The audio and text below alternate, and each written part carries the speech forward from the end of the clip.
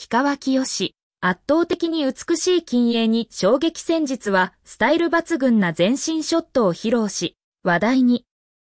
歌手の氷川きよしが11日までにインスタグラムを更新。笑顔が眩しい近影を披露した。写真、氷川きよし、スタイル抜群な全身ショット弾ける笑顔も4枚。先日、プライベートで大阪に来たで。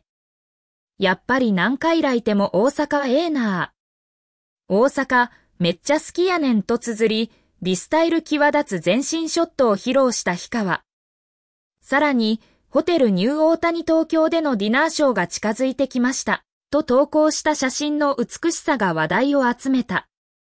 今回は、サンフランシスコと同じくらい大宮が好きと綴り、サンフランシスコで撮影した写真を投稿。サラサラのミディアヘアをなびかせながら微笑む姿を披露した。氷川きよし、氷川きよし。1977年9月6日生まれ。福岡県出身。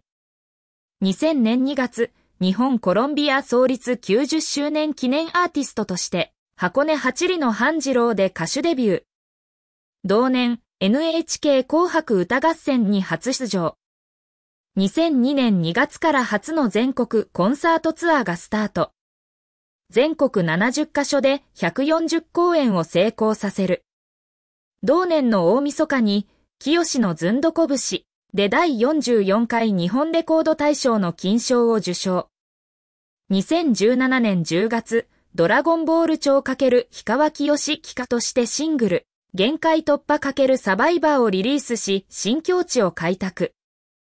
2024年、所属していた芸能プロダクションからの独立を発表し、新会社、キーズナを設立した。